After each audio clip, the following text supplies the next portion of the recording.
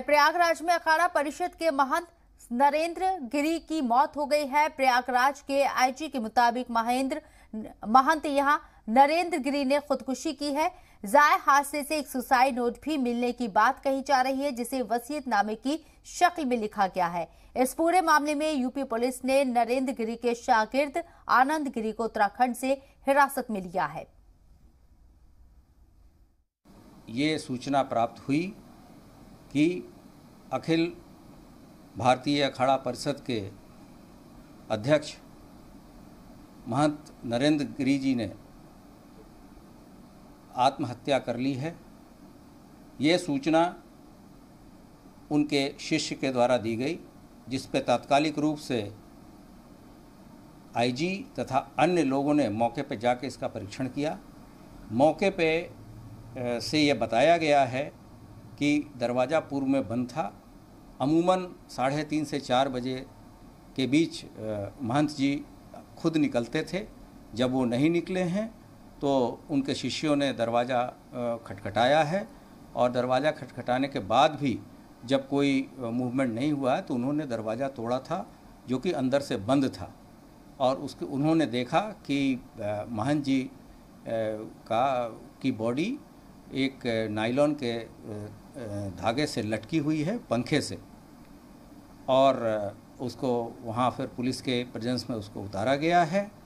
तथा मौके से एक सुसाइड नोट भी प्राप्त हुआ है, जिसमें कि महंत जी ने आनंदगिरी तथा दो अन्य व्यक्तियों के विरुद्ध आरोप लगाए हैं कि उनके मौत के जिम्मेदार वही लोग हैं। इस पे त्वरित कार्रवाई करते हुए उत्तर प्रदेश पुलिस ने आनंद गिरी को उत्तरांचल पुलिस के सहायता से हरिद्वार में डिटेन किया है। एक स्पेशल टीम वहाँ भेजी जा रही है, जो पूर्ण सुरक्षा के बीच उसको लाएगी तथा आगे की पूछताछ इसमें की जाएगी।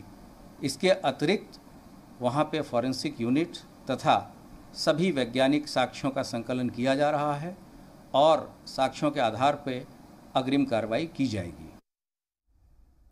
महंत नरेंद्र गिरी की मुश्तबा मौत मामले में प्रयागराज से बाप बेटे को हिरासत में लिया गया है।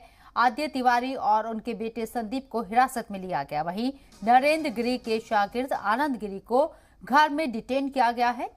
हरिद्वार के कांगड़ी में आनंद गिरी के घर के बाहर पुलिस तैनात है। हिरासत में लिए गए लोगों का नाम सुसाइड नोट में लिखा है।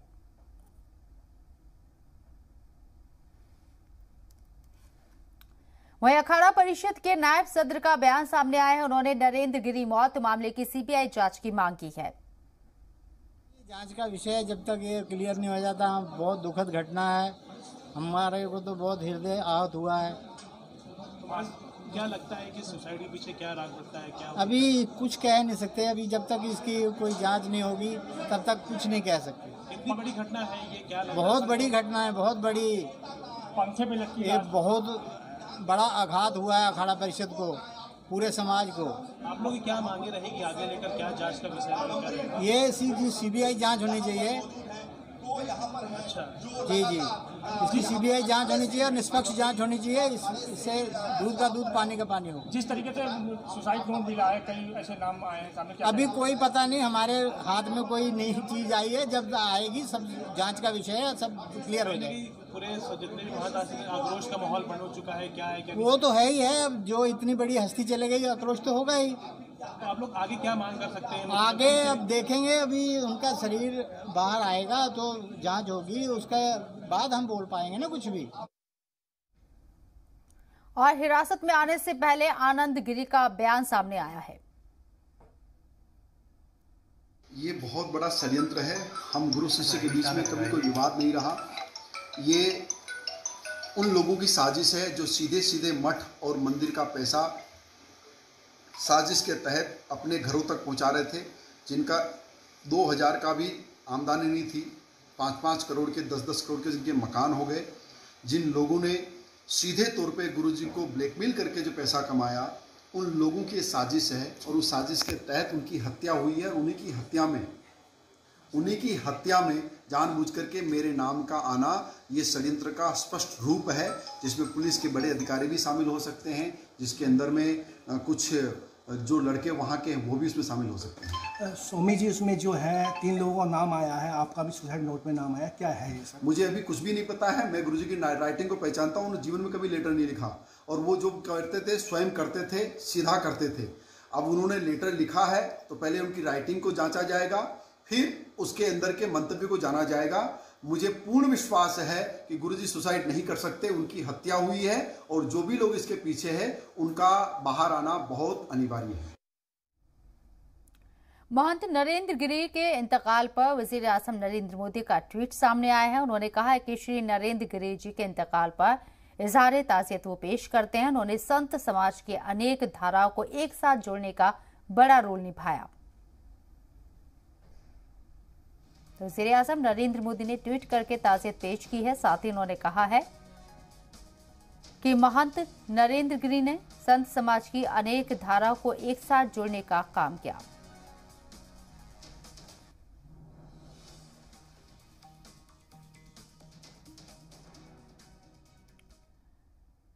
वहीं वज़ीर दाखिला अमित शाह ने अखाड़ा परिषद के सदर महंत नरेंद्र गिरी के इंतकाल पर इजहार अफसोस ज़ाहिर किया है। ट्वीट करके उन्होंने दुख का इजहार किया है।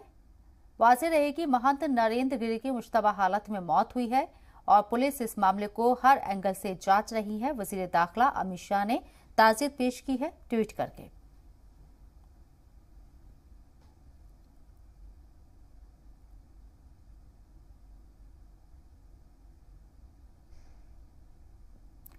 यूपी के सीएम योगी आदित्यनाथ से महंत नरेंद्र गिरी के इंतकाल पर उन्होंने शदीद अफसोस का इजहार किया है। तो ट्वीट करके दुख का इजहार किया है। वज़ीर आला योगी आदित्यनाथ ने जिस तरीके से महंत नरेंद्र गिरी की मौत हुई है, उस पर उन्होंने ताजियत पेश की और अफसोस का इजहार किया। उधर यूपी के काबीना वज़ीर नंद गोपाल नंदी ने महंत नरेंद्र गिरी की मौत पर बयान दिया है। उन्होंने कहा है कि साजिश के पीछे जो भी है उसको बख्शा नहीं जाएगा।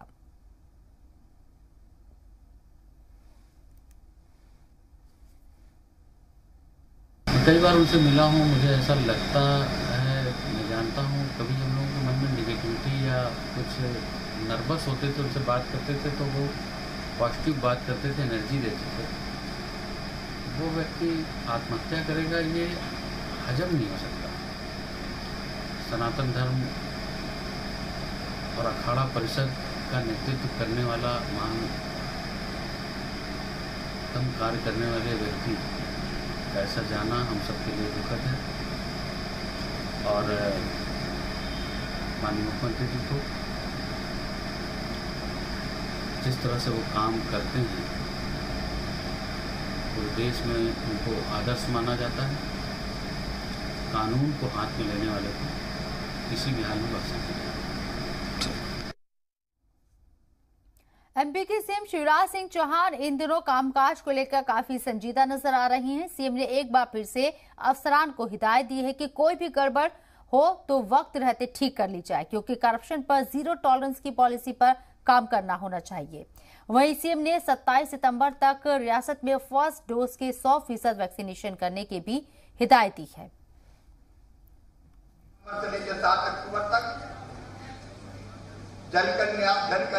स्वराज अभियान चला।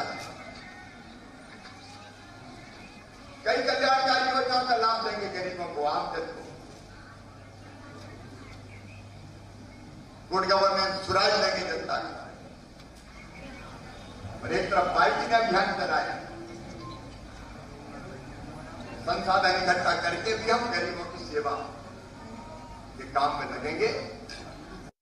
पूरी तरह से गड़बड़ को समाप्त करके चैन की सांस लेना अगर कहीं है तो।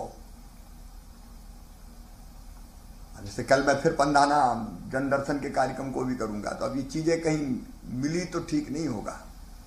हमारे पास समय है। हम समय सीमा में करप्शन के मामले में ज़ीरो टॉलरेंस हमारी नीति है। गड़बड़ करने वाले को क्रश कर दें।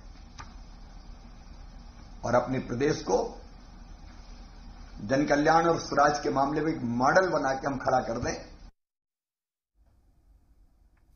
और औहदा संभालते ही एक्शन में नज़र आ रहे हैं पंजाब के नए सीएम चरणजीत सिंह चन्नी। चन्नी कैबिनेट की पहली मीटिंग हुई।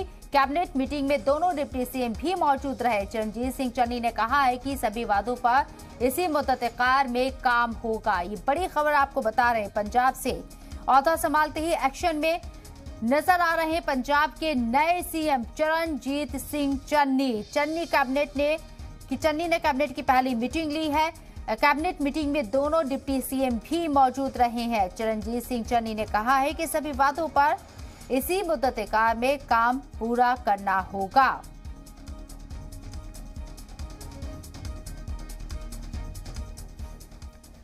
चरणजीत सिंह चन्नी ने आज पंजाब के नए वज़ीर आला के तौर पर अहदे और राजदारी का हलफ लिया है। हलफ लेने से पहले चन्नी रूपनगर के गुरुद्वारे पहुँचे और मत्था टेका। चन्नी दलित सिख समाज से आते हैं और अमरिंदर सरकार में वज़ीर भी रहे। वो पंजाब के पहले दलित लीडर हैं जो रियासत पंजाब के वज़ीर आला बने। हलफ बर्दारी तकरीब में राहुल गांधी समेत पंजाब कांग्रेस के कई बड़े लीडरान मौजूद रहे। इसके साथ ही सुखजिंदर रंधावा और ओपी सैनी ने रियासत के नए डिप्टी सीएम के तौर पर वजारत का हलफ लिया। देखिए खास रिपोर्ट।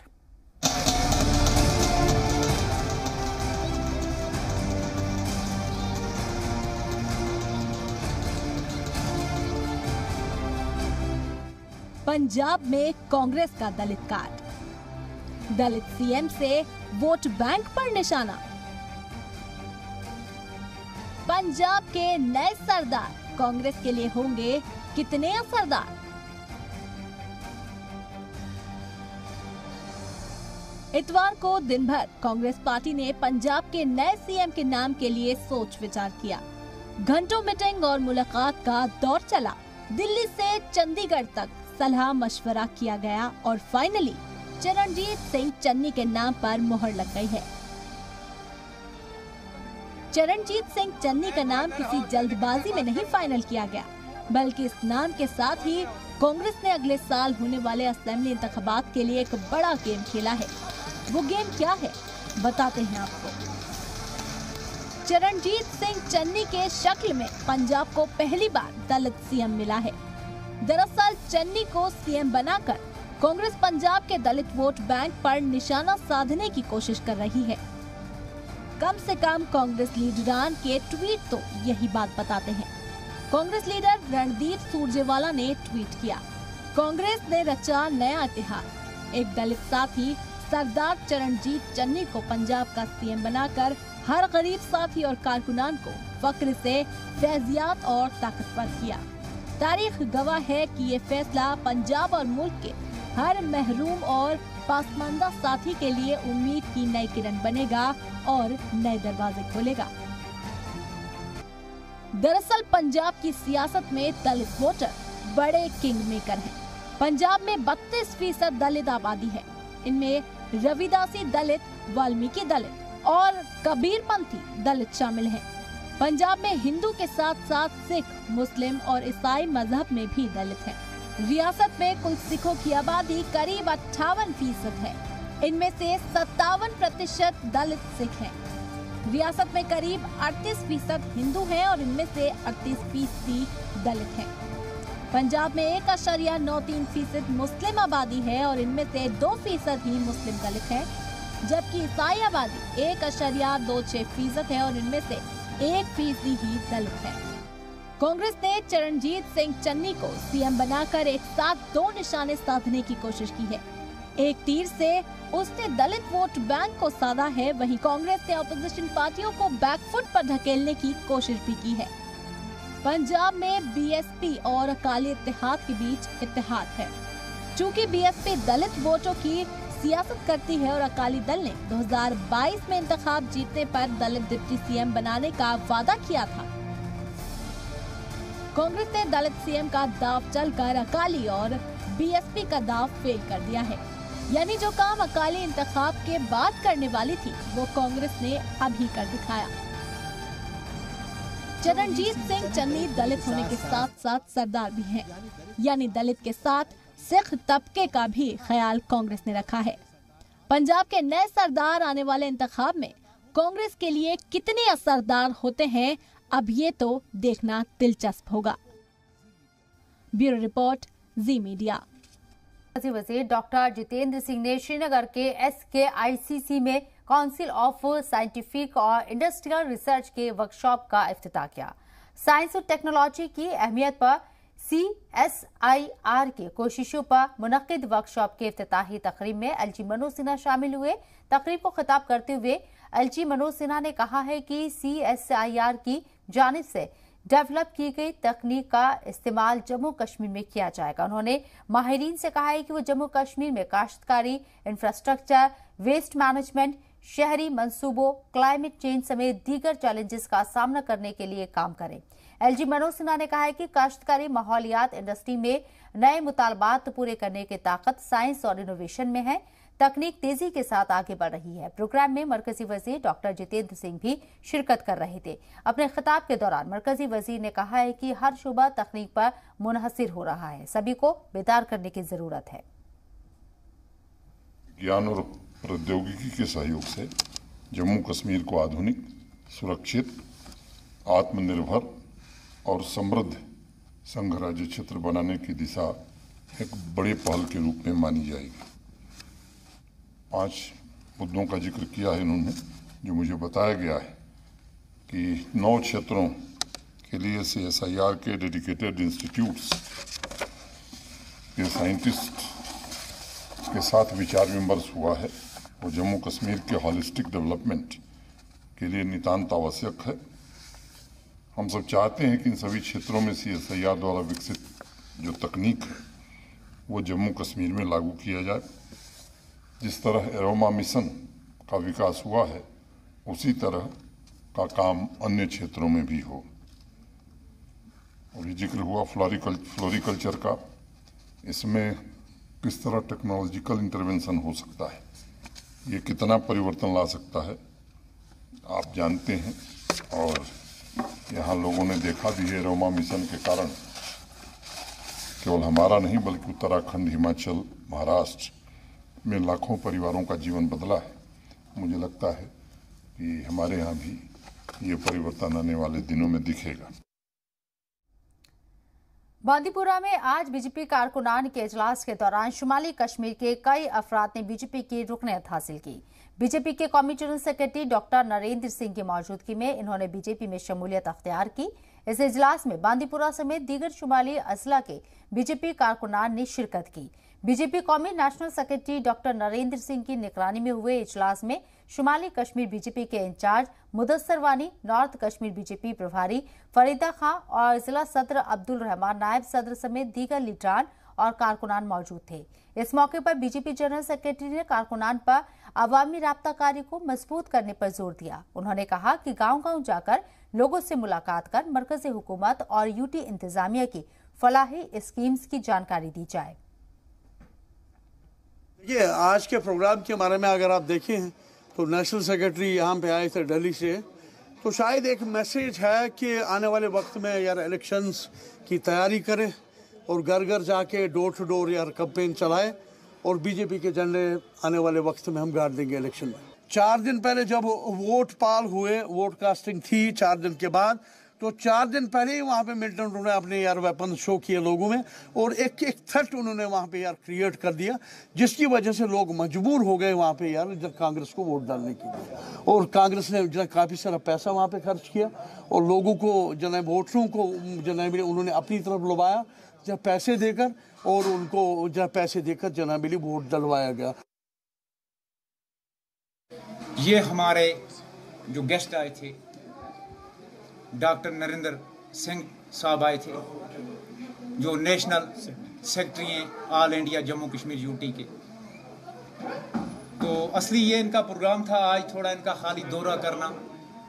तो फिर हमारे जो वर्करान थे, कौन, कोई लोग हम दाएँ बाएँ की पार्टी के लोग थे, जैसे कांग्रेस है, एनसी है, पीडीपी है, उनके लोगों ने भी कोई जैन की थी भारतीय जनता पार्टी के साथ। तो उनको भी मिलने आए थे। जम्मू में एनएसयूआई के वर्कर्स ने क्लस्टर यूनिवर्सिटी के खिलाफ मुजाहरा किया है। दरअसल ये सभी वर्कर यूनिवर्सिटी की जानब से जारी। नतीजों से खुश नहीं है। नतीजों में नब्बे फ़ीसद बच्चों को फेल कर दिया गया है। वर्कर्स का कहना है कि वो महीनों से क्लस्टर यूनिवर्सिटी के अहदेदारों से जारी किए गए नतज को मॉडिफाई करने का मुतालबा कर रही है। नतज ज्यो के त्यों हैं, उल्टे हम पर लाठीचार्ज किया जा रहा है। जो अभी अभी रिज़ल्ट आया है नाइन्टी परसेंट बच्चा फेल है। जिसके कारण अभी हम रिज़ल्ट नया निकालने, उसी रिज़ल्ट को हम मॉडिफाई करके निकालने की हमारी डेढ़ महीने से हम प्रोटेस्ट कर रहे हैं। बट हर बार ये पुलिस प्रशासन का साथ लेते हुए बच्चों को अरेस्ट करवा लेते हैं या प्रोटेस्ट रद्द करवा दिया जाता है इनकी वजह से। हर बार ही पुलिस को बुलवाया जाता है। और पुलिस भी ना जाने क्यों इनका समर्थन करती है। पिछले तीन सालों से एक ही सब्जेक्ट के लिए आधे आधे नंबर की वजह से बच्चों को फेल किया जा रहा है। क्यों? अभी लास्ट एग्ज़ाम में फोर्टी परसेंट सिलेबस के मार्क्स डबल करने थे। हमारे पास आंसर शीट्स हैं। पेपर चेक ही नहीं किया गया। अभी मेरे पास बैग में आंसर शीट है। मैं दिखा सकता हूँ पेपर चेक ही नहीं नहीं किया गया चेक दस नंबर दिए गए बच्चों, किस बेस पे दिए गए? आप हमें बताइए। हम अभी आपको आंसर शीट दिखा सकते हैं बच्चों की। श्रीनगर में कोरोना के मामलों में फिर से इजाफा होने लगा है। गुजश्ता इतवार को जम्मू कश्मीर में दर्ज नए मामलों में से चौवन फ़ीसद मामला श्रीनगर में दर्ज किए गए हैं। पिछले 24 घंटों के दौरान चौवन हज़ार से ज़्यादा लोगों का कोविड टेस्ट किया गया, जिनमें एक सौ अड़सठ मामलों में पॉजिटिव लोग पाए गए हैं। इनमें से बानवे मामले सिर्फ़ श्रीनगर में ही दर्ज किए गए। जिला इंतजामिया ने बढ़ते मामलों पर तशवीश ज़ाहिर करते हुए दोबारा लॉकडाउन का इशारा दिया है। जिला तरक्याती कमिश्नर एजाज असद ने कहा है कि एसओपी खिलाफ वर्जी की शिकायत पर कुछ इलाकों में सख्त लॉकडाउन लगाया जा सकता है। उन्होंने खबरदार करते हुए कहा है कि कुछ लोगों की लापरवाही और गैर जिम्मेदाराना रवैये के सबब सभी के लिए खतरा पैदा नहीं किया जा सकता।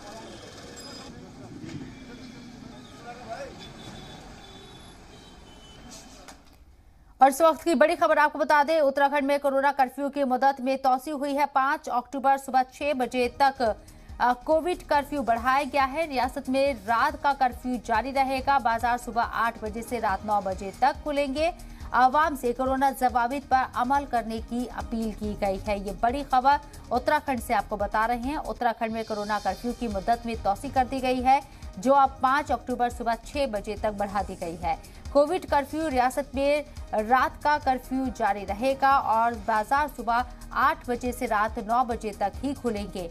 आवाम से कोरोना जवाबीत पर अमल करने की अपील भी की गई है।